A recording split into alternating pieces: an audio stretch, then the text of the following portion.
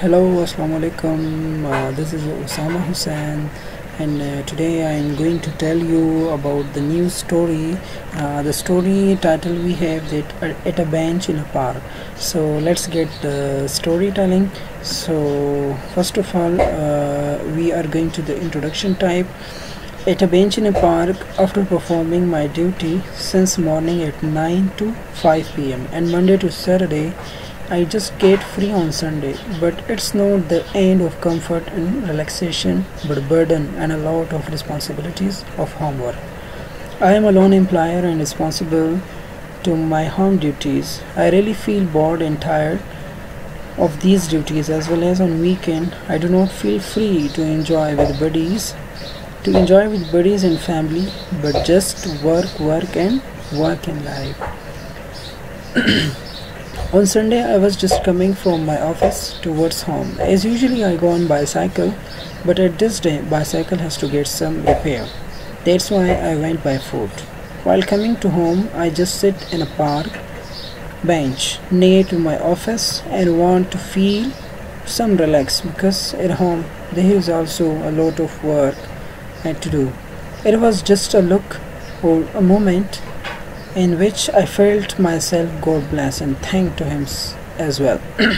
in the park, the children were playing and some were walking here and there. Just I saw them all happy and cheer. But during this, an old man come towards me and explaining his life like beggar to me and wanting to give him some money to take meal. He did not take meal since two days as I look his worse condition and his worse and his story of life He's looking like with a very dangerous face and disguised. Long hairs, tear dress, two dirty sleepers, and begging for some meal. His age would be above fifty. I felt too worse of his begging, and his face was like an innocent person, and in and in real, he was innocent. I was fed up with life, and nothing was giving me satisfaction and joy.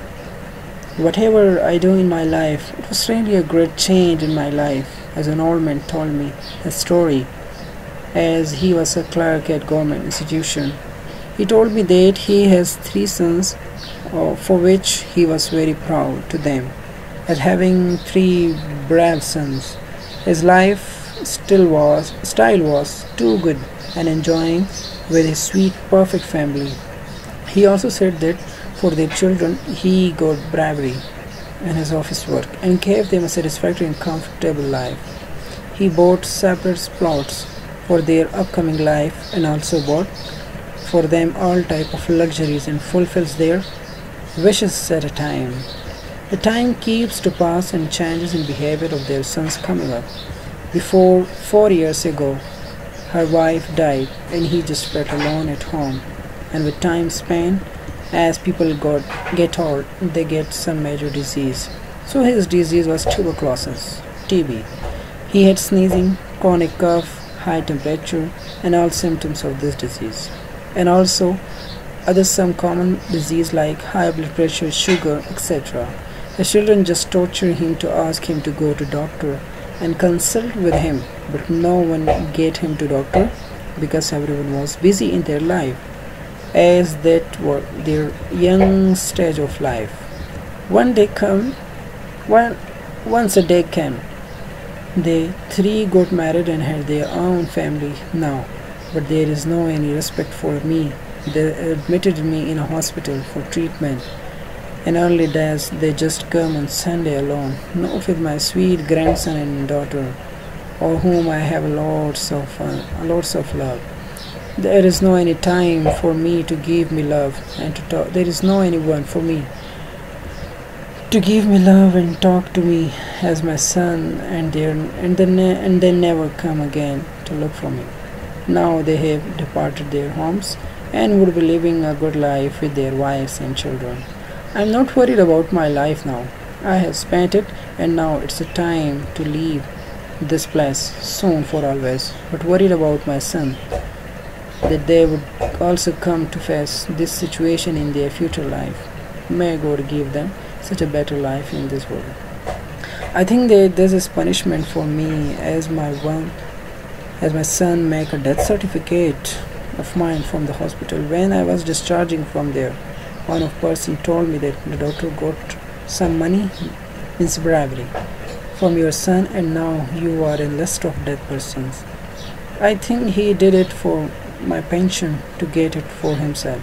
I cannot think of them as what I did not do for them in life. But anyhow, now I am also praying for them that they never they got situation in life like this as I have now. I am just now begging like a beggar to just pass my time and went to real place means grave which is comfortable for me.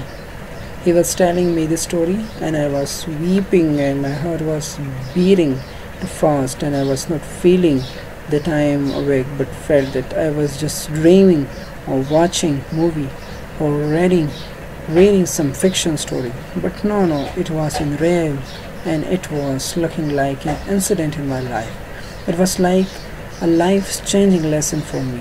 It was just the story of that person who did who did everything in his life for their sons I hugged him as my father and love him so much because one person who had lost his father can feel this condition and I did. I was as my father had passed away last three years ago. I hold his hand as I am his son, went home and now he is living with us in a small flat which was empty for last one month. I am really caring for him and also sue for his fraud death certificate in the court. We are hoping that he will win this petition soon and will pass his remaining life in good condition.